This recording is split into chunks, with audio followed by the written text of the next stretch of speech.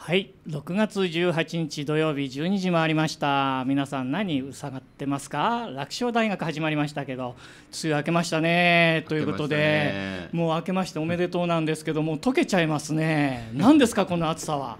今もう白熊くん手放せません僕。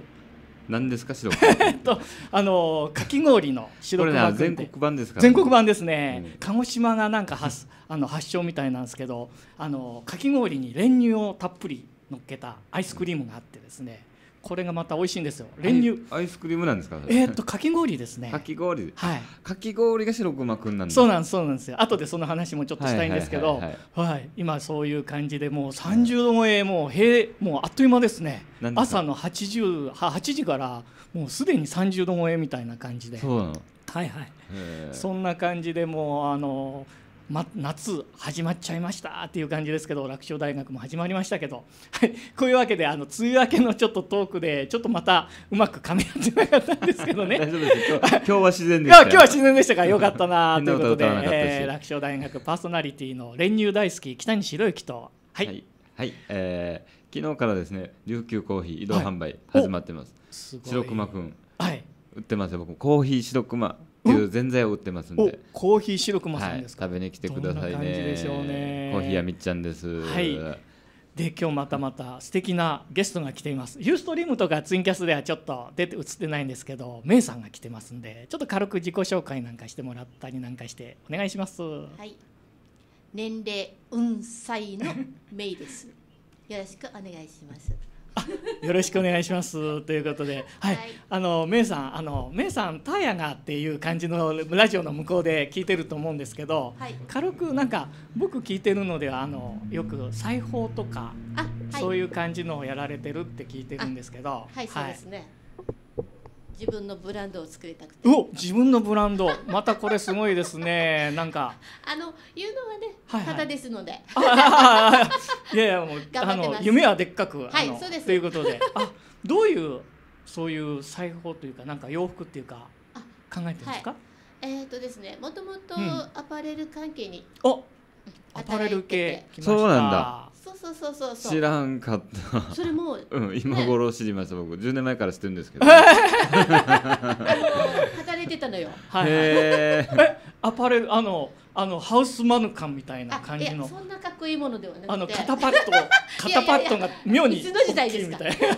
バブル期真っ盛りの。いやいやそういうそういうのではなくて、はいはい、本当に、うん、であのやってたんですけど、はいはい、あのやってるうちにですね、はいはい、あのそういう何ですか？一つ一つ、うんうん、その人に合った丁寧な、はいはい。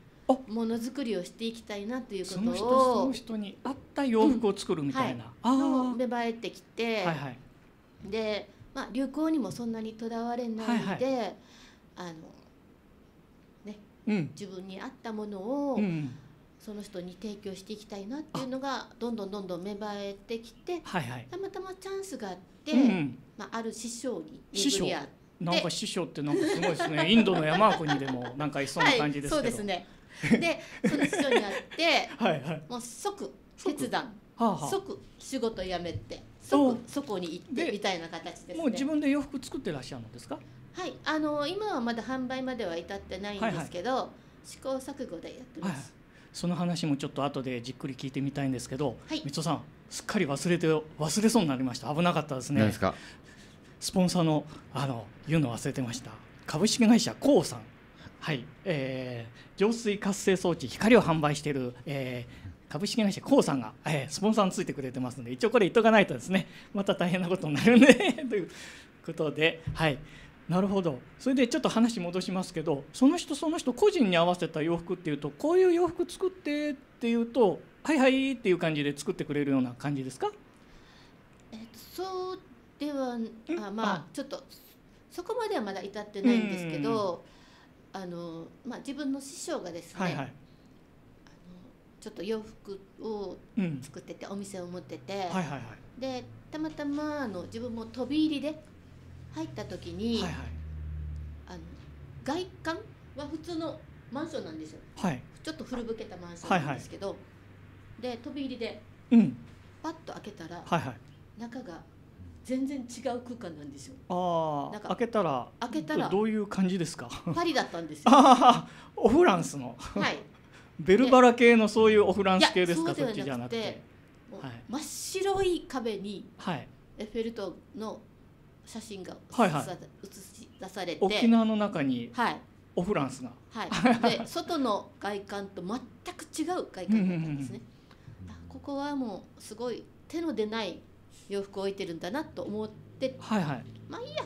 買えなかったら買えなかったで、はいはい、っていうことで一旦入ったんですね。はいはい、で入ってでその時に私が作りたい洋服があって、うん、自分に。うん、で店主が出てきてくださって、はい。はい、すいません。私今こういう服作ってほしいんですけどってお願いしたら、はい。はい、あパターンだったら作ってあげるからパターンっていうのはちょっと分かりやすく言うと。型紙洋服の型紙を作ってあげるから、はいはいそれを持って洋服屋さんとこ行って作ってって言われたんですね。はいはいでいや違うんですって言って、うん、私はデザイン画を描いて見せたんですよ。うん、そしたらその人がまた描いてくれたんですね、うん、自分で。でそれが宇宙人の絵みたいな絵だったんですよ。例えば宇宙人というといろんな系があるんですけどあのよくテレビで出て両手にこうやって抱えられた宇宙人。はいはいはい。のような絵に 絵に？私のこのデザインの洋服が描かれてたんですね。で私これ見て「あこれです」って言ったんです。ははは。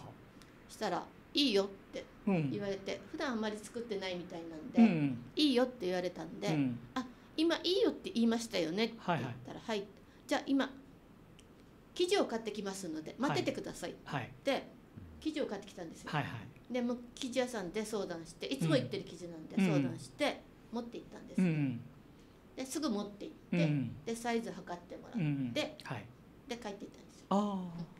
でもちょっと仕事が忙しくて、はい、なかなか行けなかったんです、ね、はいはいはい、でその時に仕事も忙しくてであの自分のあの周りの家庭とか、はい。はい、いろんなことも忙しくて、はいはい、またすごい大変な時期だったんですね。はいはい、でその時にもう気持ちもすごい落ち込んで落ち込んでて、はいはい、で大変だったんですね 本当にすごい落ち込んでて大変な時にですごい一気に痩せてしまって、うん、それで洋服をお願いしたんですけど、うん、でしばらくしてその方のところに行ったら。はい。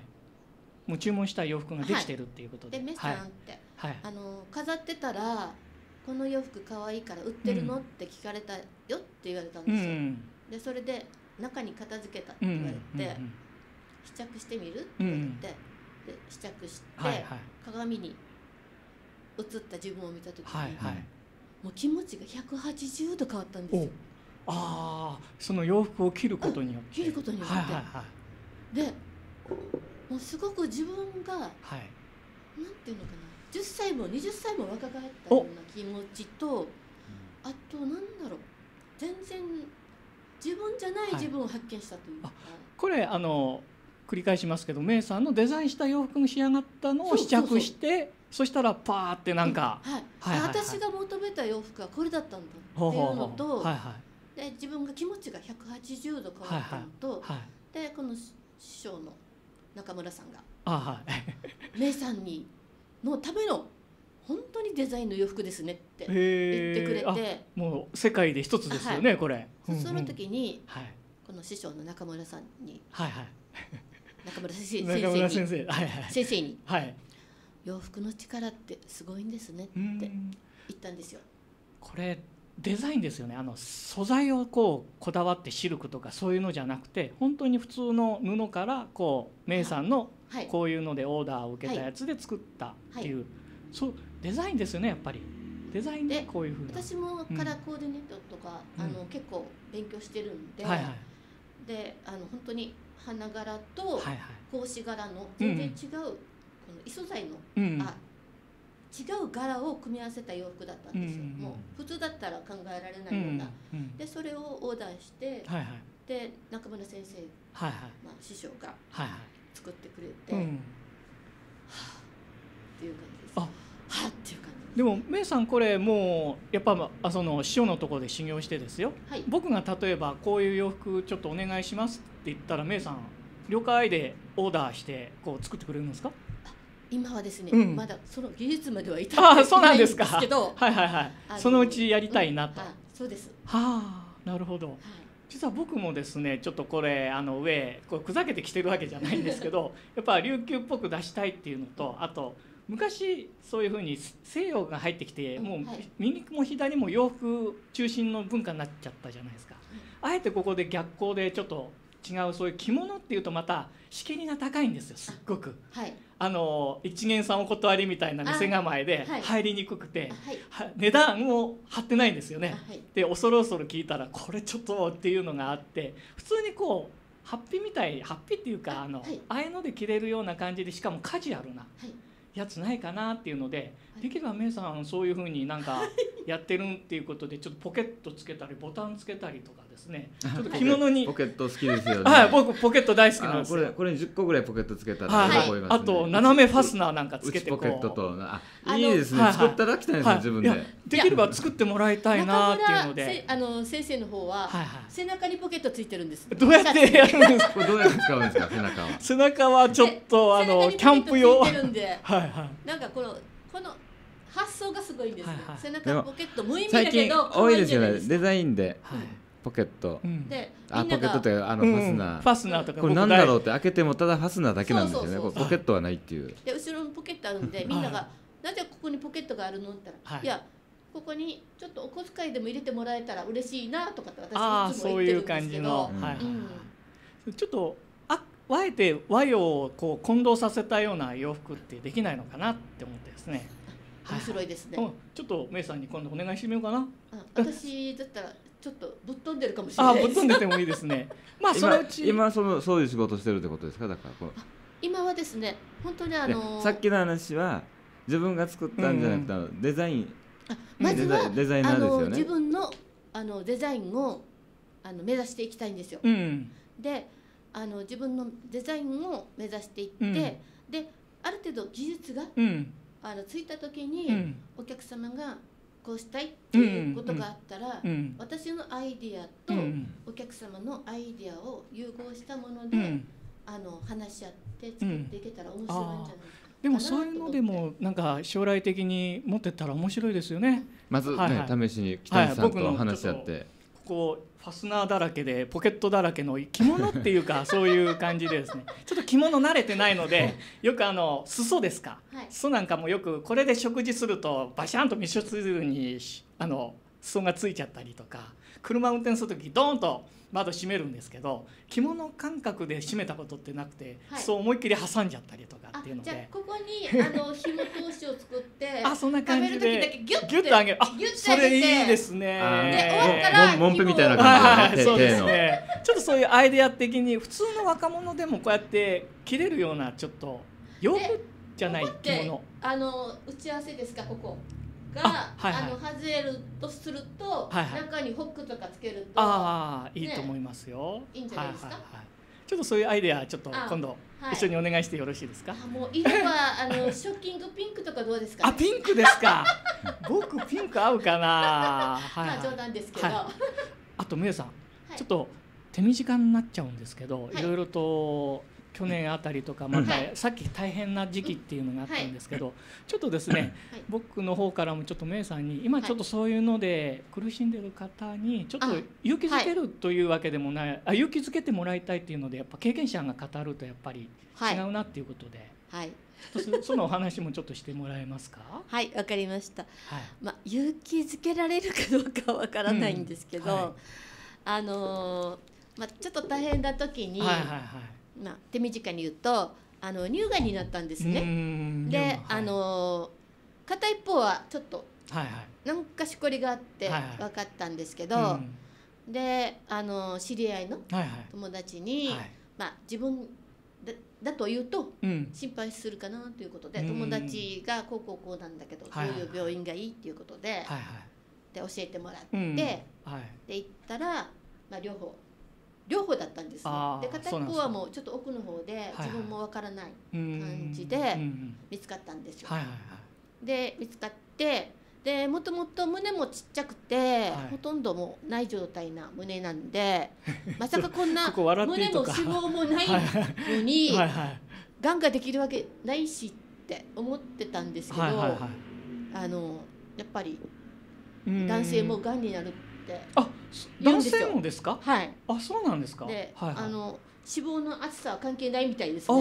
はいはい、はい、男性も乳がんがあるってことですか、あはい。へえ。初耳ですね、それは。はいはい。私もびっくりあの自分のこれをやって知ったんです。はいはいはい。で、私の場合はまあ早期発見という早期発見。あ、やっぱ早期中の早期だったんですか？本当に早期で、で、あの両胸だったんで、先生があの好きなサイズで いいよって言ってくれたんですね。はいはい。で、え好きなサイズ？これな何のこれ胸のサイズですよ。取った後の話ですかね、切ったんですか、全摘なんですよ、もうこれ早期発見なのに全摘で。全摘だったんですか？で早期発見っていうのは、まずこのがんを取りますよね、はいはい、このがんの塊を、はいはい、でこのがんの塊を今度もう1ミリ単位でスライスして全部見るんですよ、で見てこのがんが、はいはいはい、あの広がっていくがんなのか、はいはい、広がらないがんなのか。あそういう種類いっぱいあるんですか？あるんですね。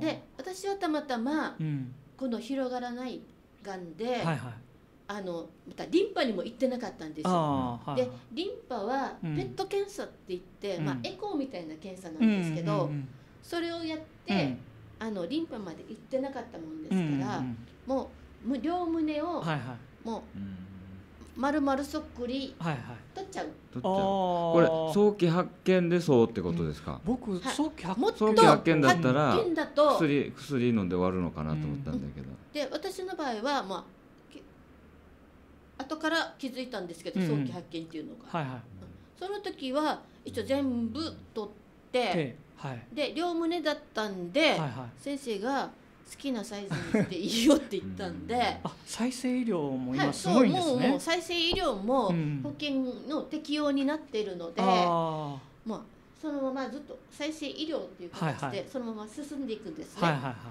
い、であの、まあ、抗がん剤治療をその時に受けるか受けないかっていうのは分からないんですよ。あそれは選択じゃなくて分からない分からないんですよ。で全摘してがんを取って初めて、うん抗がん剤治療をするかしないかっていうのが分かるんですね。はで私は運よく、はいはい、まあ、あの抗がん剤治療がなかったんですよ。でそれも分かるまで10日間ぐらいあるんですね。はいはいはい、で私はもともとこういうキャラなんで、はいはい、こういうキャラというか。もうこういうキャラキャラしたキャラなんで、はいはい、まあ、抗がん剤治療っていうのも頭には考えてたんですけど。うんうんうん。まず好きなサイズでいいよって言われた時に、はいはい、ときめいたんですね。ときめいたんですか？やっぱ女の子なんで、はい、っていうことですか？で友達と相談して、はい、やっぱ友達なんで、まあ、はい、この際、はい、じゃあ A, A とか A カップだから C ぐらいにしようよということで、はい、まあ友達と話し合って決まったんですね、うんうん、で先生にあのじゃあ C カップでって言ったら、はい、めっちゃ怒られまして。あのサイズ選んでいいって言われたんだけど 実は。すごい怒られて。選べないんですか？あのやっぱり皮を皮を伸ばしていくんであそうなんですか。あの自分が負担かかるんですよ大きい人は皮が伸びてるんで、はいはい、まあねいいんですけど私たちみたいに皮がない人をゆっくりゆっくり皮皮を伸ばして、はいはい、そのサイズに持っていくので、はいはい、自分が大変になるんですね。だからやっぱ結局サイズは選べなかったということで、まあ、少し大きくなりましたんで、うん、でもあのちょっとこれですねやっぱり昔に比べたらその再生医療っていうのがすごい進んでるんで、はい、あの結構大きめにこう戻してもら戻してもらったっていうか。でまずあの私の場合はですね、はいはい、あの他の人の場合はわからないんですけど、はいはい、まあ、手術したら、胸がぺちゃんこになってると普通思うじゃないですか、うん、そういうイメージが多いんですけど、うん、で私の場合は麻酔から覚めた時に、胸があったんですよ、はいはい、もうすでにエキスパンダーということで、あのお水が入ったパッドが入ってたんですね。はいはい、であ胸あるしあやっぱりちょっとこういうのは精神的ダメージっていうのはすごい緩和されますよね。そうです。うん、やっぱりあの、うん、はい、なんかそういうので今そういうのでやっぱ怖がってでなかなか生きにくくなってる女性の方とかいると思うんですよ。うんはい、その時にやっぱりあのメイさんのやっぱ経験をちょっと話してもらって、はい、そんな怖がらなくていいよっていうのをちょっと言ってもらって。でエキスパンダーって水が入ってて、はいはい、胸があるんですよ。はいはい、でそれを半年かけて、はいはいはいあの徐々に徐々にこう顔を伸ばしながら胸を大きくしていってあの自分の好きなサイズをなんですけど私の場合はもともとちっちゃかったので、まあ、まあ先生に怒られて B ということで。で今しっかりとした前より大きめの B であの普通に、はい、あのやってるっていう。はい。あそしてはいはい、で半年かけてエキスパンダーで膨らまして、はいはい、で半年後に、はい、あのシリコンを入れるんですね。であの今までシリコンの安全性が確認されていなかったため、保険適用がされてなかったんですけど。まあ、去年から保険適用で、もう最初からもうシリコンを入れるんですですのでもう最初から胸はあるんです。じゃあちょっとメイさん、はい、ここでちょっと今聞いてる人にですねそういうふうな自分の貴重な体験話してもらったんで、はい、だからちょっとそういうのでどうしよう。なんかしこりあるけど気になるっていうもし聞いてたらですね、はい、怖がらなくていいよみたいな感じでちょっと言って、ね、締めくくっていただいてですね。はい、はい。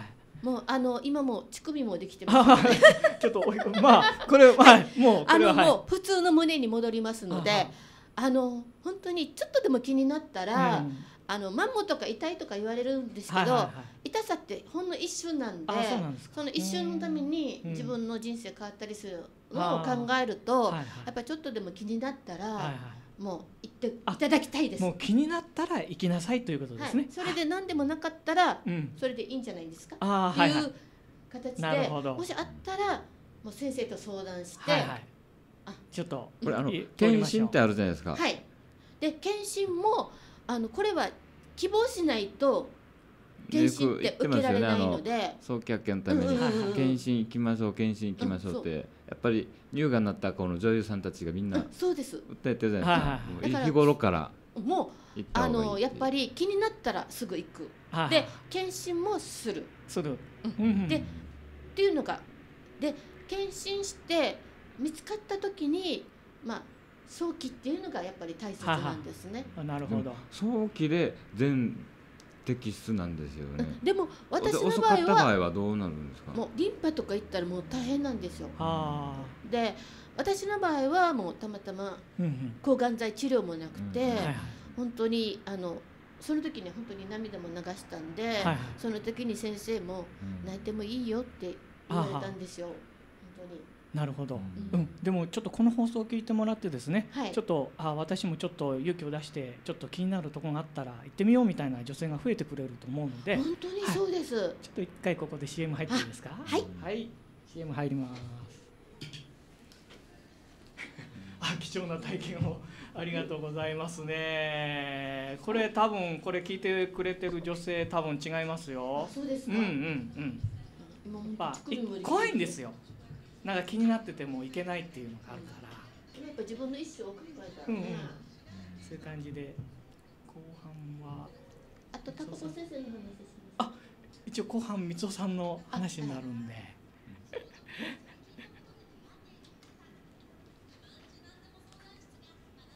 コーヒーぜんざいですか？あ食べたい。食べたいでしょ、うん、その話とかも。全然食べたい。全然食べたい 全然いいでしょ、うん、夏は全然いいでしょ。うん。開けますよ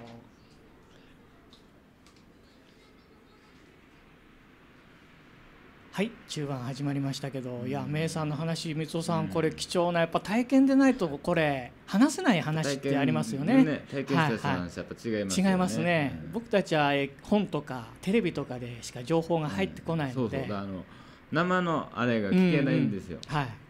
結局こうこうやっぱり素人っていうかもう全然関係ないんでね。だもうもう浅はかなっていうか、うん、本当にもう早期発見したら薬1錠飲んで終わるみたいな パターンだったんですよね、うん、怖いってこと。これ予防とかはでできないんですか？予防策とかは。いろいろなんかあのネット見るといろんな方法はあるみたいでなんですけど、うん、なってからね、いつ発見するかっていう待ち構えるよりもならない方がいいですよね。ならない方が一番ですね。ストレスとかストレスとかストレス。あやっぱストレスですか？でストレス関係、ね、男の人も乳がんになるとかっていうのちょっとびっくりですね。はい、へえ。初めて知りました。ああ、はいはい。はい。はい。一応後半はあの三尾さんのコーナー入ってはい、どうぞどうぞ。はい、はい、あの、あのー、先ほどの、はい、そうなんですよね。あの最近ですね。ちょっとフェイスブックでもおとなしくしてるんですけど。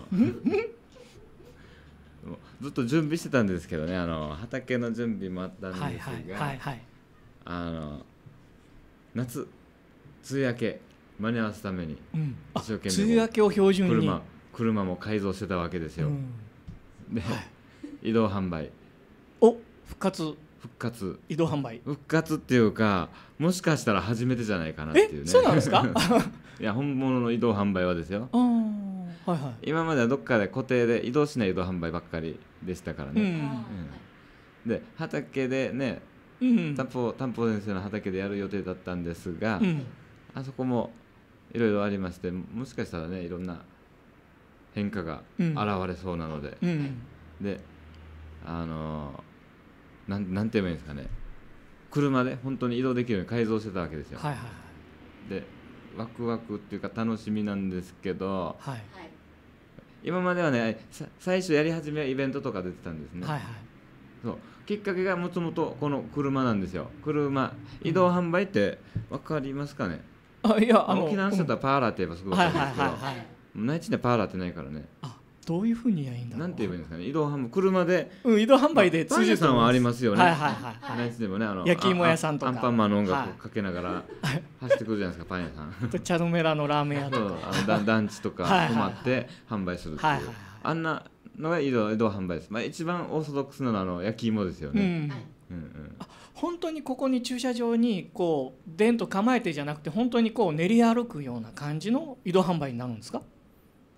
いやそれはあそれじゃなくて。そのその車の販売の方式ってことです。ああはいはい、はい、大体大体あれですよ。あのイベントとかがメインなんですけどね、うん、普通は、うん、大変結構結構大変ですよ。こう移動販売仲間とか話聞くと。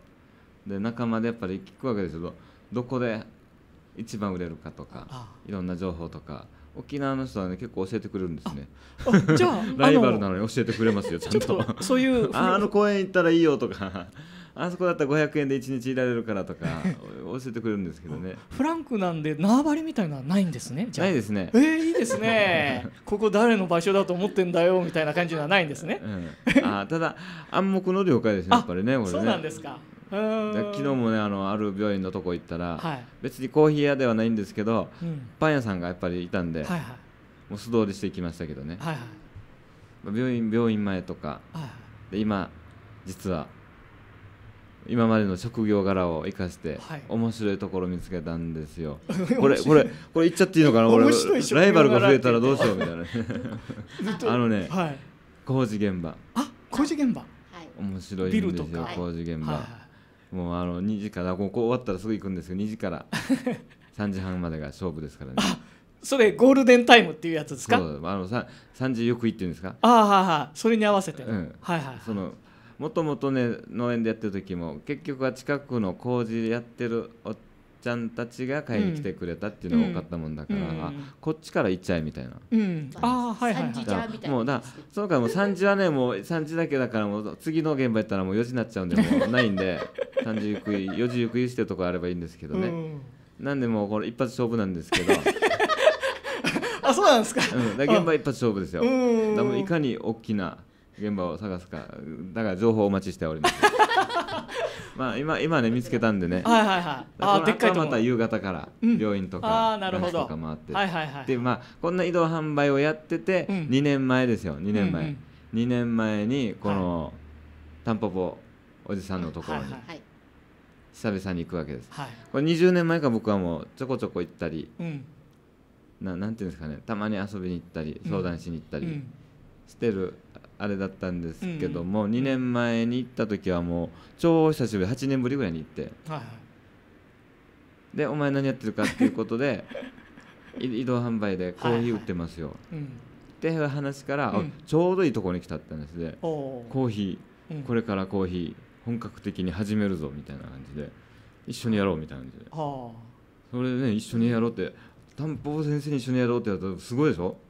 すごいすごい。俺で喜んでやりますやりますみたいな感じで何の意味もわからんでやりますみたいな感じで、うん、でこれこれねあの今まで5次元教室とか内地とかよく行ったじゃないですか、うん、もう沖縄でもやってたんですけど、うん、実際あれのなんていうんですかあれは勉強会だからこう高次元教室っていう資料を作るためにそういうできるところからとか、うん、いろんなのをやってるんですけど、はい、それ原型っていうのは実際にやってることなんですよタンポポ先生が。うん、本当にあのあれをまとめただけでできるところからできることを考えてやっていくっていうのを実際にやってるのがこのコーヒーに関してなんですね先生は。はいはい、だこれが原型なので本当はこれ話した方が早いんですよあの5次元教室とかもしやる場合もですね、うん、もう実際にやってることですから、うん、普通の感覚とかですよあの例えば何かあ今同じことでもいいですよ。コーヒーをやろうとしたら、はい、まず最初に考えるのって土地ですよね。コーヒー植えるところないと、はい、コーヒー農園やるんだから、はい、でその次に苗ですよね、うん、苗だったり種だったり。でその次にこの設備とか、うん、でこんなのを徐々にやっていって設備を整えて苗を植えてであのこの苗が大きく育ってくるのを待って収穫を待って、うん、収穫できるようになった時にようやくあもう今年から収穫できるよっていう時にじゃあ販売するところを探そうとか、はい、どうやって販売するかを考える。この販売販売っていうのはもう最後らへんなんですよ。はいもう物がないと販売できない。最初から販売する人いない。って普通に思いますよね、うん、でもタンポポ先生は最初に販売考えるんですよ、うん、まあ、最初にってわけでもないです。これ最初にとか後にってわけでもないですけどこれ全部トータルでトータルでですよ。やることが決まってるんですよ。今言ったように順番じゃなくて苗も必要土地も必要お金も必要設備も必要水も必要あと販売ルートも必要販売形式も必要。いろんなやることいっぱいあるわけですよね、販売に至るまで、しかもその販売に至るまでって世界に向けて世界一有名になるための販売のルートなのであの、やることですよ。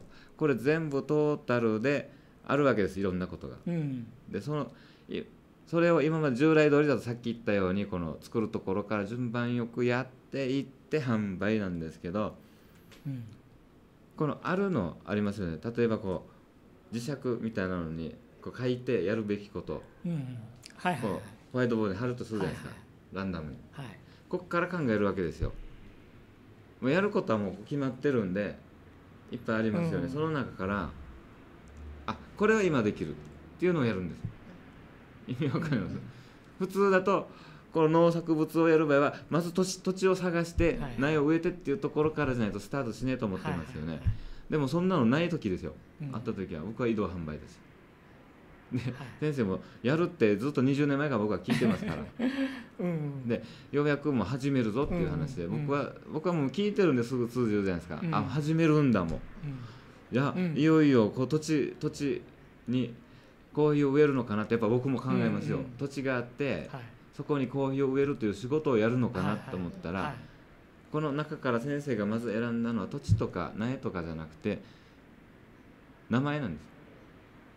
名前これはもう販売するとなった世界に販売するとなったらやっぱり一番いい名前、はい、っていうことでつけたのが琉球コーヒーなんですよ、はいはい、でこれをすぐに登録してこい。商品登録してこい。っていうことで、もう即最初の仕事がこの名前を取ることでしたね。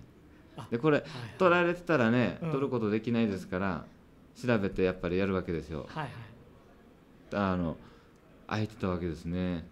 ついてますよね、うん、まあ先生一番喜んでましたね。ついてるなこれいける。これがあったってことはまだ残ったってことはもう間違いないよっていうことでも世界一のコーヒー決まったんですその瞬間に。もう決まったんですよその瞬間に。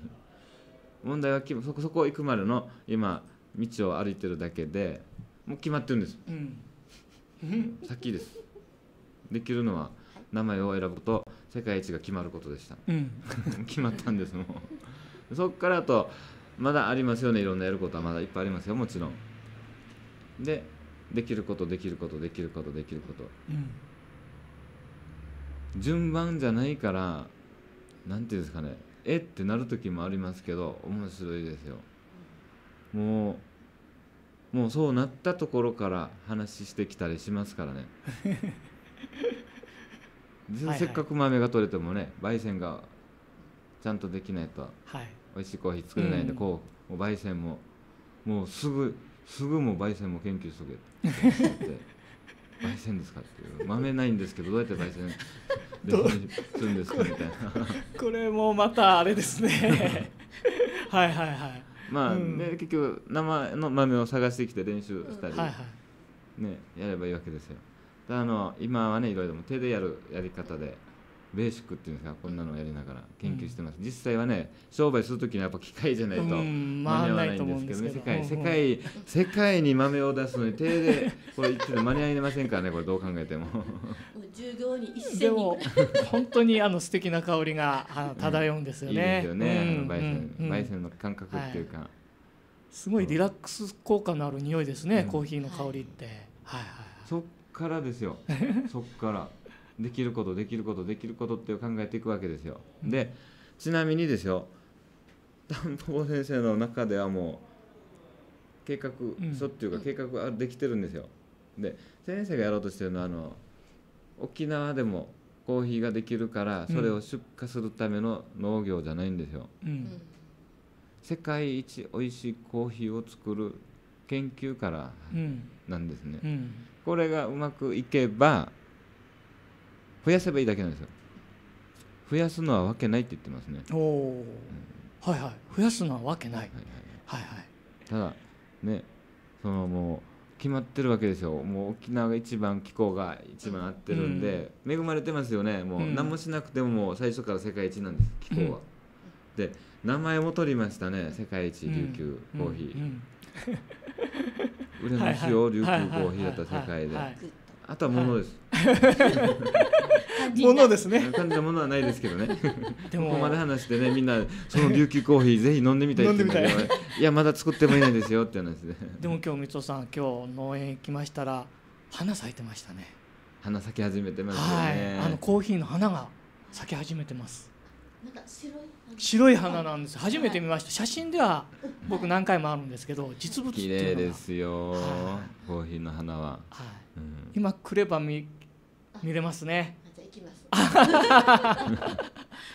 あんな感じですね、うん、どんどんどんどん咲いてくるっていうことですね。そう咲いてくる。あ咲いてくるかな他のは。あの大きいやつでしょ一番。はいはいはいはい、うん、自信はい。でも将来的にはそういうあれ1メーター以上なると咲くんですよそうなんだ。何年って言うんですけど目安が3年とか言うんですけど3年を経てば1メーター以上伸びるので咲くっていう目安でこれ成長が遅かったら5年かかったりもしますよ。逆に2年でね1メーター以上なる場合もあるし。ははあれで何年ものになるんですかね。ねだ分かんないです。そうなんですか。でも可愛らしい白い花が咲いてますんで。きますね。花咲くってことは実もなりますね、うん、始まりですね、うん、動いてますね、はい、はいコーヒーコーヒーついでにコーヒーの話しましょうかコーヒーの、うん、コーヒーってもともとは健康食品なんですよ。えそうだったんですか、うん、薬草、うん、薬草の中でも一番の薬草だったんですのがコーヒーなんですよ。実は、うん、これゆっくり話したいんで一回 CM 入っちゃっていいですか、はい、なんか早速 CM 入りましょうね。いやアイコンタクト通じるって素敵。はい CM 入ります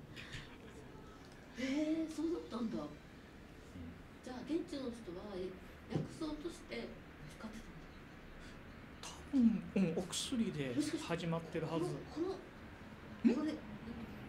うん。どんな病気でもこの食べたら治るっていう。万病の薬。動物は食べてたんでしょ動物知ってたの？あの鳥がつついたのを食べてっていうのは聞いたことあって。で現地の人がなんか元気になってるっていうんで。っていうので聞いたことあるんですけど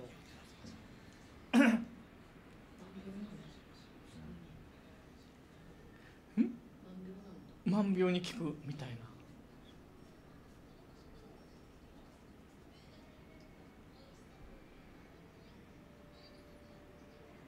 はい10秒前。あこれ別に無理につけなくていいですよ、うん。はい後半始まりましたけどコーヒーの話ちょっと楽しみですね、ね、ちょっとやっていただければ。話したいことい。っぱいあったんですけど、ねはい、コーヒー流れがなんかコーヒーの話コーヒーの話、うん、今日はコーヒーの流れで。コーヒーの由来。はい。由来。というかはいそうですね。古代の、まあ、今のコーヒーはもうずっと後からなんですよ、うん、でこれ伝説によるとですね伝説ですからねこれはもう神話神話並みの伝説です要は。もともとそういうなんかなんていうんですかねあのなんどっかの宗教じゃないけど修行僧みたいな人が、うん。うん、これどこでって言ったかな、まあ、2箇所ぐらいあるんですよ物語が、はい、ででもどちらも同じような感じではありますね。修行？修行僧っていうかあのそういった人が追い出されてっていうか、はいはい、寺っていうかそんなとこ追い出されて山の中をこのさまよってて、はいはいで食べるものも何もないじゃないですか、うん、あの赤い実あの、うん、コーヒーの実って赤いんですよ、うん、もう本当コーヒーチェリーって言うんですけど、もうチェリーみたいな感じで、いっぱいになるんですよね。あんまり赤いから美味しそうじゃないですか、食べてみたらしいんですよ。勇気いりますよねこれね。最初食べた人ね。はい、だ甘いんですあれ。甘いんですか、食べたことないですか、あのほんわり甘い。んですよ、はい、この果肉がねいっぱいあるんだったら、この果肉取ってなんか使えるっていうぐらい甘いですよ。果肉ね薄っぺらいんです。もうほとんどあのコーヒー豆、豆の周りに皮が、ま、巻いてるっていう感じなので果肉自体はないんです、ちょっとした皮と豆の間の汁っていうかあれが甘いんです、はい、それを食べて元気になったって話があるんですよ。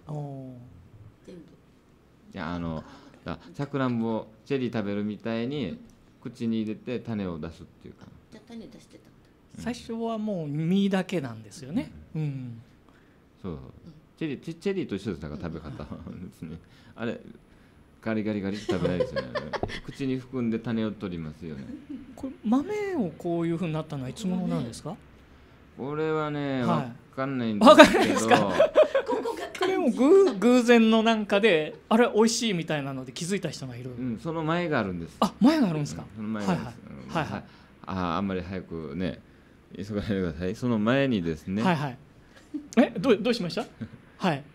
あのー、なんていうんですかね、うん、最初はこう実を食べてた段階、はいはい、でも昔の最初の頃はその種、はい、種もコーヒーとして飲んでた時期っていうのは、うん、煮汁なんです。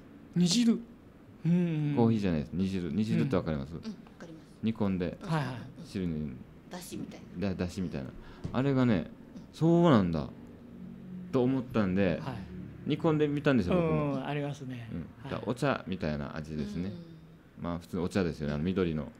緑茶みたいな感じで味はね鳩麦茶みたいな味でしたけど、あれが多分体にいいんだと思いますね。はいはい、その後です。その後多分それも予測です予測。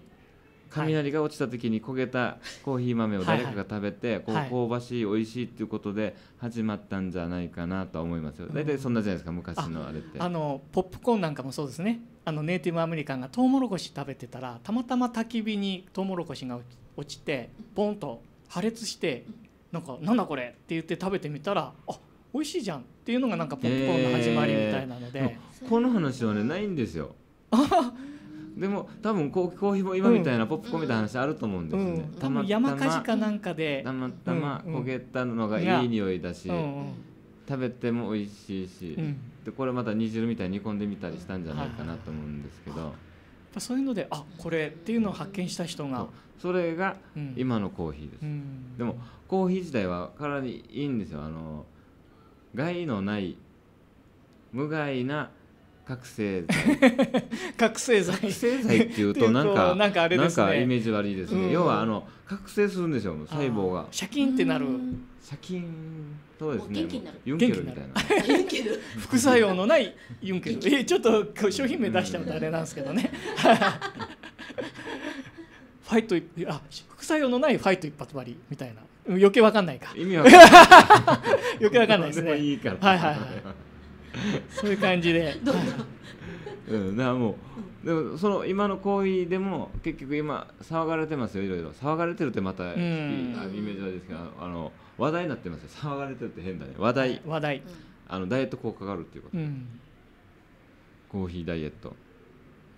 すごいですよ。コーヒーダイエットもあるんですか？しかもあの、他の人もなんかダイエットは結構前からあるんだけど最近出てきた情報がですね、うん、あのコーヒーを5杯以上飲むとがんにかからないとか。そうなんですか？コーヒーを3杯以上1日ですよ、うん、飲むと糖尿病にならない。なんかそういやこれ糖尿病がさっきかコーヒーがさっきか分かんないけど。はいはいはい、うん、でも多い方がいいと思うんですよね。これ基本やっぱブラックもちろんですよ、ブラックですよ。あミルク砂糖なしの、そのコーヒーを1日3杯。砂糖が悪いんですよ。コーヒーが悪いんじゃなくて砂糖、うん、砂糖とミルク入ってるから悪いんじゃなくてブラック。ブラックで。ブラックブラック。もうお薬と思って飲んだら余計いいみたいな。薬と思って飲まんでも普通に美味しく飲めば。美味しいですからコーヒーは。5杯でもう病気知らずっていうとすごいですね。すごいですよね、こういうのもちょっとなんかガンガン出してほしいですよね。コーヒー。はいはいはい、ね、もうもうそうそうコーヒー業界の皆さんのために僕はアピールしておきます。コーヒーはいいんですよ。体にいいんですよ、朝一杯昼一杯、夜一杯。最低3杯は飲みましょうみたいな。よく飲みすぎだととかって言われる人もいるんですけどカフェインとか。飲みすぎたらダメですよそれあの5リッターも10リッターも飲む人いますからね。それはいないと思うんですけど昔水は3リッターぐらい飲んだ方がいいっていうおじさんよく言うんですけど、水飲んだ方がいいって言われて、水飲みすぎて病気になったって言ってたんだけど。反対にこう過剰に飲みすぎて。あの人8リットル以上になってましたけど。それそれ病気になるわって話で8リットルも飲むかっていうね。ありえんだろっていう、やっぱそう限度があるだろうっていう話ですね、うん、水の害じゃなくて、うん、もうなんていうのこのなんかもうはいはい、う飲みすぎた飲みすぎた機能低下ですよ、はいはい、負荷がかかってみたいな。うんでも今日すごいですね。コーヒーのこういう深い話ができて。コーヒーは3杯。3杯。朝昼晩3杯飲みましょう。寝る前に飲めば4杯です、ね、これ聞いたら寝る前に飲むとなんか、眠れないっていう人いますよね、よく聞きます、まあ、そそういう人は2時 ,2 時までにしてくださいね 2時まで、うん、2時 ,2 時後飲むと眠れないらしいですよ。あの飲んでたら眠れるそうよく言いますよ、うん、2人言いましたからね。あそうなんだやっぱりと思って。2時までだったら大丈夫だけど2時以降に飲むと眠れないらしいです。はい、でそういう人はあの時計をこの戻してからまだ1時ですよって飲めば多分大丈夫と思いますけどね、はい、とりあえず。もう2時過ぎてる2時過ぎてコーヒー飲んだからもう眠れないと思うから眠れないんですよ、そう眠れないがあの暗示かかってるんですね。時計を逆に戻してから飲めばいいそういう人は。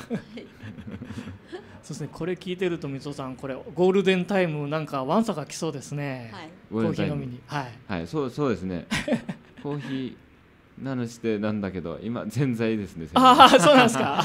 ぜんざいの話？コーヒーぜんざい。を宣伝したくてこんな話が長くなってしまったんですけど、はい、コーヒーぜんざいってわかんないですよね、うん、どういう、まあ、その前に、ね、これ全国ネットですからね、うん、ちゃんと言っとかないとあのぜんざいって沖縄はですね、うん、ちなみに普通にぜんざいといえば氷が乗ってるのがぜんざいですあかき氷みたいな感じなんだけどかき氷でもないこれちゃんとはもう沖縄の人からすると当たり前なんだけど、うん、内地の人からすると、ね、なんでってなりますよ、うん、ぜんざい頼んでなんで氷が乗ってるのって、うん、あったかいぜんざいをイメージしてくるんで、はいはい、真夏にあったかいの食べませんって感じですよね。だけどみんな勘違いしてうんそうですね、うん、どうしてもお汁粉系のやつ沖縄ではですね、あの逆にあったかいぜんざいって言わないと分かりませんよ沖縄では常識では氷が乗っているのは氷ぜんざいです。で、はい、この氷ぜんざいにですね、はい、なんとあのコーヒーシロップ。コーヒーシロップ？作ったんですか、みつさん。これは僕の発明ですね。ほうほうほう、う。ん、うまいんですよこれ。結構うまいんです本当です大人気ですね。あらまあ。かき氷のシロップはかき氷のシロップではないんですけど、はいはい、かき氷でコーヒーシロップかけてくれっていう人も多いですよ。いちごメロン、はいはいはい、あのぜんざいはなくても、何にしますかっていう、うん、だからかき氷もやってますから、うん、メロンとかいちごとかあるじゃないですか。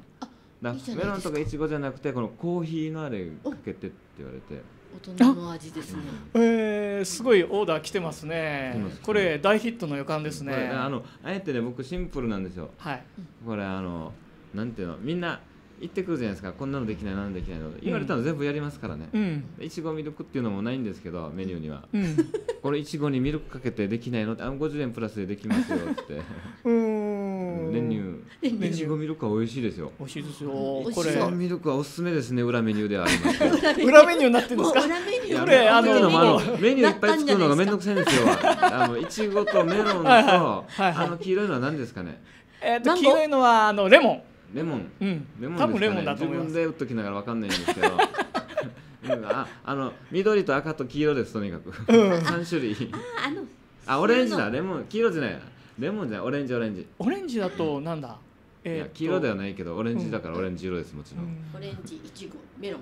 オレンジいちごメロン。3種類しかないんですけどこのいちごに練乳とか、はい、あとなんかなんかいろいろ言ってくれましたよ、はい。はいそうでそうお客さんから言われて作ってあこれいいやって思ったのいっぱいありますね。これあの自分自分の組み合わせでやってください。ちなみにあの全部かけたらあんまり美味しくなかったですよね。僕はね。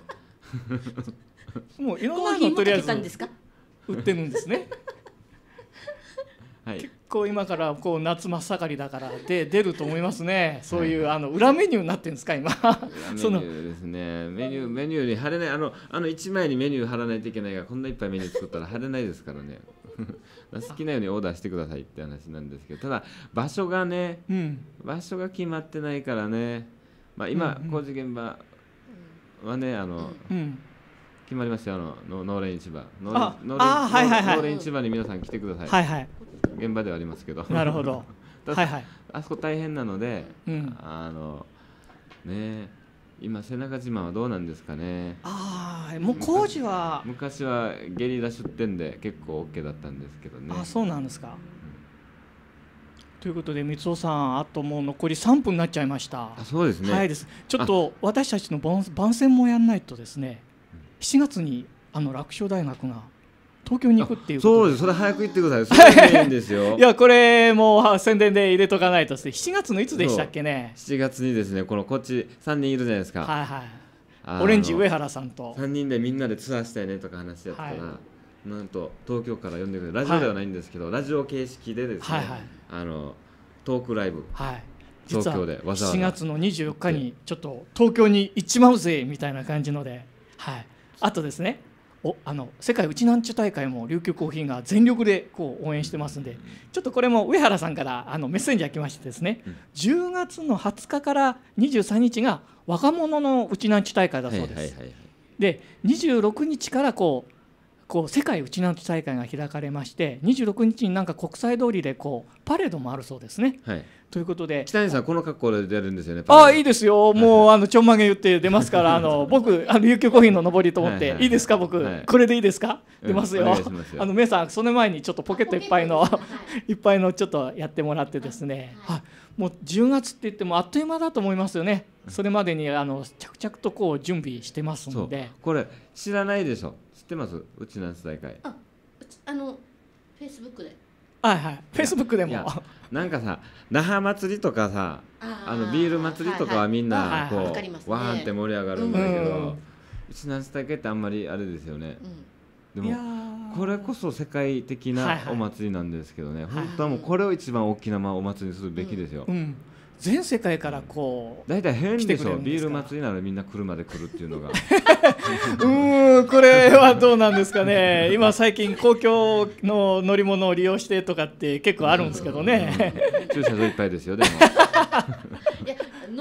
が一人いですよね、うん。はい、そんな感じでハンドルキーパーですね、はい、はい、そうです。ノンアルコールもあるノンアルコールで、はい。そう世界うちなんち大会ももうちょっと本当にこれすごい。祭典なんで、あのこう全力でバックアップしてきたバックアップってい。うとまたおこがましい。んですけど応援したい。なってい。うのですね、うん、上りもやるんですよねそうもう沖縄の人たちが盛り上がってない。ってい。うのがなんかショックでさああんまり知らない。らしい。んですよ、うん、こううちなんちたちが、うん、うん、なんかでもっていうのが俺もあんまりこう行ったことないんですよね。ということであのそういう感じでもう1分来ちゃいましたけど最後にもう一回提供を紹介してよろしいですかね?はい、お願いします。はい、えー、株式会社コウさんですね、えー、浄水活性装置光を販売しておる美味しいお水作ってますんで、はい、そう交流水で交流水で作ってます、はい、水出し水出しコーヒーの水は交流水でございます。これでやるとまた全然違いますね、コーヒーもまろやかですよ、一回飲めば忘れられないということで、でもメイさん本当に貴重なまた体験のお話とかしていただいてありがとうございます。はい、はい、こういう感じでこう今回の楽勝大学終わっちゃいますけど、ああもうどのコーナーでやっちゃいましたけど、また来週来週もまた聞いてくれるかな？あいや言っていいですよ。はい、ありがとうございます。じゃこれからコーヒーぜんざいを食べに行きます。あお疲れ様でした。どうでした？ああよかったですね。いいいいねと思いましたね。いいで。いいと思うって言うのかなと思って。いいいいのかなと思って。たまに勝手になりますね。はいたまになんかザって入ったりとか。あ、はい、はい、調べてみますね。お願いします、はい